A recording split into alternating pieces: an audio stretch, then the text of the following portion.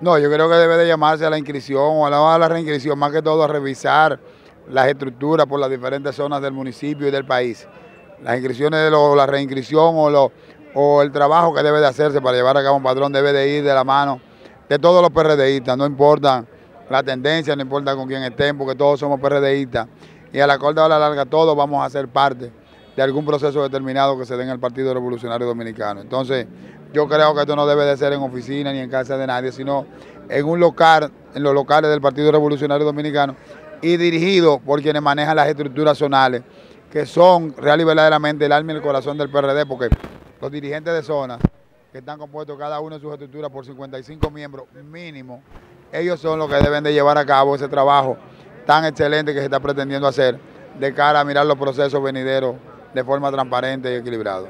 ¿Su opinión sobre la convergencia? Bueno, la convergencia es necesaria, pero yo digo que la convergencia, el PRD antes de hablar de convergencia debemos de hablar de los problemas internos de nosotros. La convergencia va a ser una confluencia de partidos y organizaciones políticas de cara a buscar lograr un objetivo, ¿cuál? Ganar la presidencia de la República. Yo entiendo que el PRD debe ser el partido que, que encabece esa convergencia como ha sucedido en otras veces. Ya sucedió con el acuerdo de Santiago, sucedió aquí con el gran acuerdo de Santo Domingo encabezado por José Francisco Peña Gómez. En fin, la convergencia es necesaria, pero a partir del PRD, no a partir de ninguna otra fuerza política que no pueda encabece el Partido Revolucionario Dominicano.